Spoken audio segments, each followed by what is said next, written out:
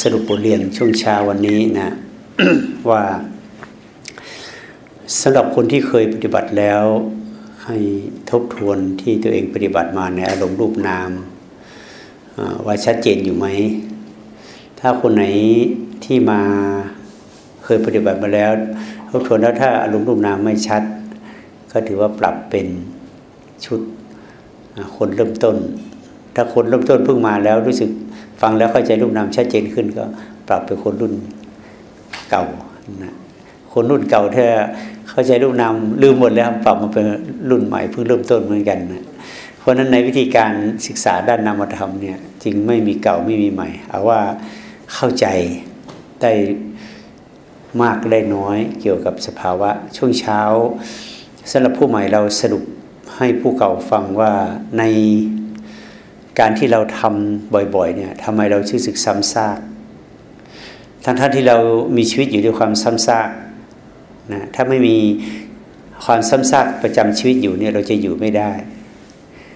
เราหายใจแบบซ้ำซากถึงจะอยู่ได้ เราถ่ายหนักถ่ายเบา ถ้าผู้วันไม่เคยเบื่อ เรากินข้าวทุกวันวันละสามเวลา ซ้ำซากไหมเราเคยเบื่อบ้างไหมเรานอนทุกวัน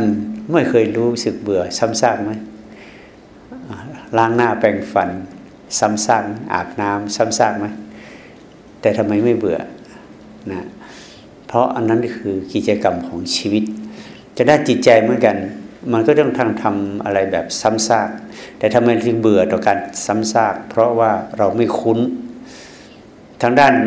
ชีวิตในส่วนรูปธรรมที่เราทำแบบซ้ำซากแล้วเรารู้ไม่รู้สึกเบื่อ เพราะมันคุ้น คุ้นเคย คุ้นเคยจนเสพติด วันไหนไม่ได้กินข้าวสักมื้อนี้เป็นเรื่องละทั้งๆที่รู้ว่ากินทุกวันมันซ้ำซากนี่เขาเรียกคุ้นเคยแบบเสพติดไปเลย แต่ด้านจิตใจเราใช้ความคิดอย่างซ้ำซากเราเคยเบื่อคิดบ้างไหมไม่เคยเบื่อใช่ไหมวันคิดเป็นหมื่นเรื่องแสนเรื่องก็ไม่เคยเบื่อที่จะคิด แต่ณวันนี้เรามาเปลี่ยนโหมดของความคิดมาเป็นความรู้ เรารู้สึกไม่คุ้น เราสึกเบื่อไวแต่วันไหนได้รู้สึกคุ้นแล้วเหมือนเรารู้สึกตัวเหมือนที่เราคิด เราจะมีความสุขมากกว่าความคิด เพราะความรู้ไม่เคยทำให้เราปวดหัว แต่ความคิดทำให้เราปวดหัว เพราะความคิดเป็นของหนัก เพราะมันมีรูปอยู่ แต่ความรู้สึกมันจะเบา เพราะมันไม่มีรูป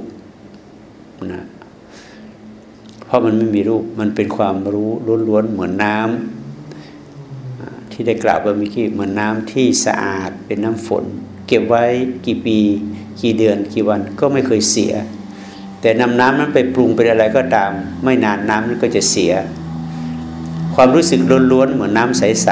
ๆมันอยู่นานเท่าไหร่ก็ไม่เปลี่ยนแปลง ไปเป็นอมตะแต่ความรู้สึกความรู้ชนิดนี้ถ้าไปปรุงด้วยรูปของจินตนาการ รูปของวัตถุ คือความคิด มันก็จะมีการเปลี่ยนแปลงเป็นอารมณ์ เป็นอารมณ์ดีอารมณ์เสียนะแต่ระหว่างความรู้ล้วนๆเนี่ยมันไม่เปลี่ยนแปลง คือความรู้ล้วนๆเหมือนกับตัวน้ำใสๆไม่เปลี่ยนแปลง ดังนั้นเราต้องการที่จะให้จิตของเราเนี่ย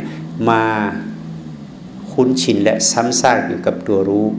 มากกว่าตัวคิด เพราะตัวคิดนั้นมันมีตัววัตถุอยู่ วัตถุอารมณ์ วัตถุทุกรูปแบบไม่ว่าหยาบกลางละเอียด มันจะต้องเป็นไปตามกฎของไตรลักษณ์คืออนิจจังทุกขังอนัตตา แต่ตัวรู้มันไม่มีรูปอยู่เรียกว่าตัวปรมัตมันจึงไม่ต้องเปลี่ยนแปลงเป็นนิจจังทุกขังนะมันอยู่เหนือกฎของไตรลักษณ์เรียกว่าอมตะธรรม เราต้องการให้จิตของเรามาอยู่กับอมตะธรรมที่ไม่เปลี่ยนแปลง เพราะคาว่าปรมัตเนี่ยเป็นอมตะ คำว่าประมัตมันมีสี่ความหมายว่า จิตเจเดสิกรูปนิพพาน เพราะฉะนั้นมันเป็นอมตะไม่เปลี่ยนแปลงไปตามกฎของไตรลักษณ์ดังนั้นเราก็จะพยายามที่จะสร้างตัวรู้ แต่ตัวรู้มันมีอยู่แล้ว เพียงแต่เราเอามาใช้ให้มันคุ้นเท่านั้นเองมาใช้บ่อย ๆ ใช้ตัวรู้บ่อย ๆ ลุกขึ้นรู้ขยับรู้ เคลื่อนรู้ มันตัวรู้กับตัวคิดต่างกันอย่างไร สรุปว่าตัวรู้ตัวคิด เพราะตัวคิดทำงานอยู่มิติเดียว คืออาการของจิต แต่ตัวรู้มันจะครบทุกมิติ ทั้งกายทั้งเวทนาทั้งจิตทั้งอารมณ์ ทั้งรูปเสียงกลิ่นรสทั้งตาหูจมูกลิ้นกายใจ มันจะทำงานร่วมกันออกมาเป็นตัวรู้ แต่ตัวคิดมันจะทำงานของแค่ของจิต เป็นอาการของจิตเพียงอย่างเดียว มันจึงเป็นความไม่สมดุล จึงมีการเปลี่ยนแปลงนะนั่นเองเราจึงเปลี่ยนตัวรู้มาเป็นตัวคิดด้วยการสร้างจังหวะที่ซ้ำซากซ้ำซากอยู่กับตัวรู้ เพื่อให้ตัวรู้มีพลัง แต่ที่แล้วมาตัวคิดมันมีพลัง แล้วก็คิดคิดคิดคิดคิดตลอด ทั้งวันทั้งเดือนทั้งปีเราก็ไม่เคยเบื่อ เพราะมันเป็นกลายเป็นความเคยชินนะอันไหนก็ตามที่มันถูกไหลไปตรงที่เดิมอย่าง ซ้ำซากตรงนั้นมันก็จะกลายเป็นความชินเหมือนร่องน้ำฝนเวลาฝนตกมันถล่มก็ไหลไปร่องนี้แหละ ตกมันไหลร่องร่องนี้จนกลายเป็นหุบเป็นเหว เป็นห้วย เป็นแม่น้ำในที่สุด ฝนตกมามันคือไม่ไม่เคยไหลไปทางอื่น มันต้องไหลไปทางนี้ เพราะมันเป็นที่ลุ่มลงไป เพราะการที่ตกมามันซ้ำความคิดเหมือนกันมันเป็นวัตถุที่หนัก เมื่อมันตกลงมาในจิตบ่อย ๆ เข้า และมันไหลไปทาง ไหนบ้าง มันไหลไปสามทาง ไหลไปทางความพอใจ อีกร่องหนึ่งไหลไปทางความไม่พอใจ อีกร่องหนึ่งไหลไปทางความสงสัยความไม่รู้ มีอยู่สามร่องแค่นี้แหละเขาเรียกว่าร่องแห่งวัฏฏะสงสารนะทีนี้เราก็ล่องลอยอยู่ในสามมหาสมุทรเนี่ยมหาสมุทรแห่งกามหรือว่ากามโมคะมหาสมุทรแห่ง ทิฏฐิความเห็นเรียกว่าทิฏโถคะมหาสมุทรแห่งความยึดติดเขาเรียกว่าพโวคะมหาสมุทรแห่งความไม่รู้อวิโชคะเป็นห่วงน้ำทั้งโอคะเป็นห่วงน้ำเป็นห่วงมหาสมุทรทั้งสี่ที่ที่เราล่องลอยกันอยู่ เกิดไปจาก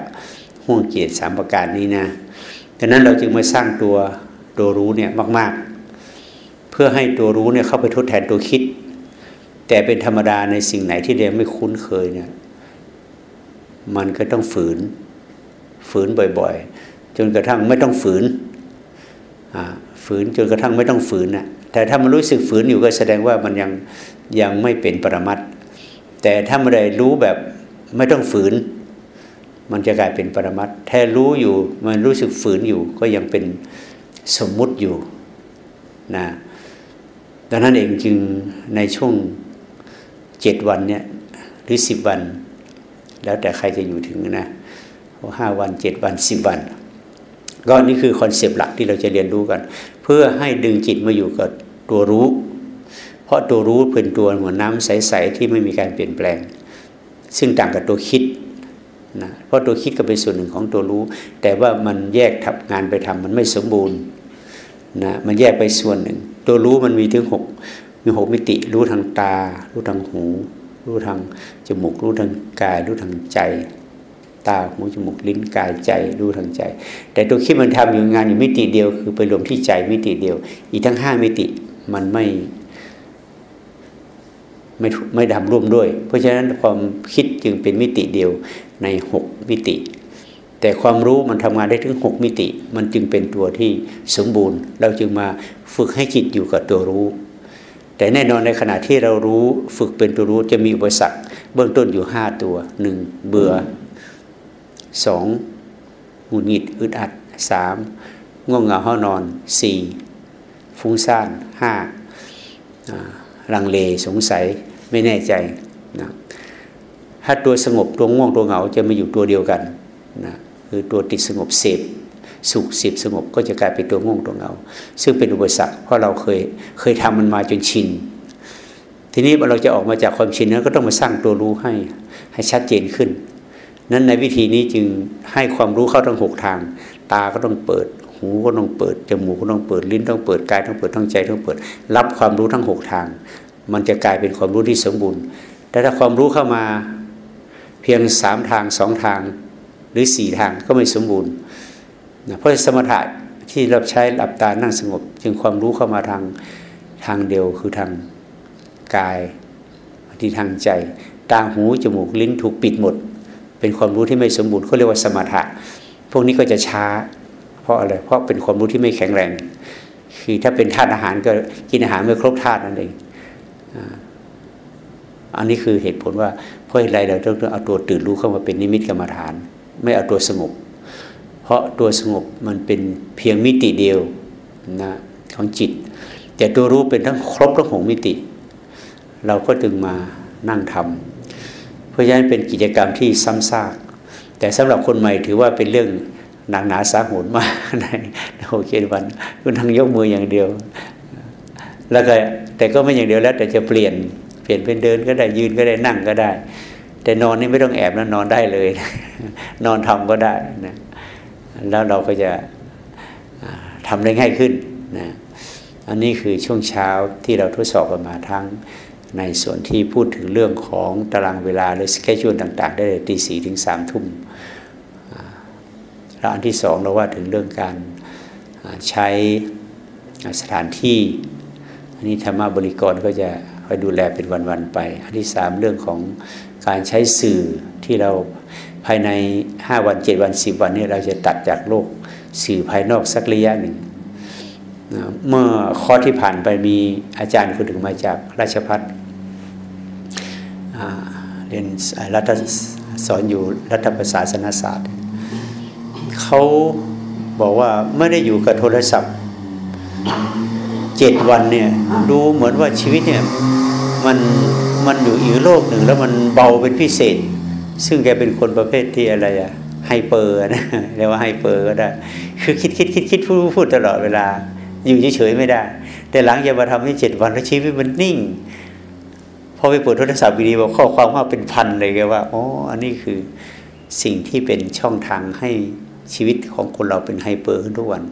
และอินทรีย์ประสาททั้งหกเราเสื่อมลงทุกวัน เพราะ วัตถุสิ่งนี้ มันเต็มไปด้วยความเร่าร้อนนะแต่เราก็ไม่เคย เพราะเราเคยชินนะเราเจ็บป่วยจนเคยชินว่างั้นเถอะเพราะนั้นโลกโทรศัพท์คือโลก social workกลายเป็นความเจ็บป่วยชนิดใหม่ เป็นโรคชนิดใหม่นะทางตา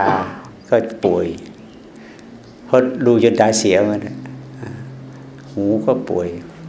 เสียงอะไรแรงนะเออสับ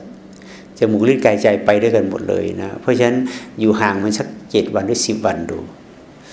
ถ้าจะว่าให้หยาบหน่อยก็ มันไม่ถึงตายหรอก เอามาเก็บซะดีๆเพราะนั้นนะใครใครไม่พร้อมที่ให้ช่วงบ่ายวันนี้ก็ให้ช่วงเย็นก็ได้นะเพื่อที่เราจะได้ปลอดภัยจากการเปลี่ยนเปลี่ยนของวัตถุสิ่งนี้นะ เพราะฉะนั้นช่วงนี้เราจะลงไป เตรียมรับอาหารนะห้องน้ำห้องส้วมเราก็รับอาหาร ตอนนี้กลับพาพร้อมกัน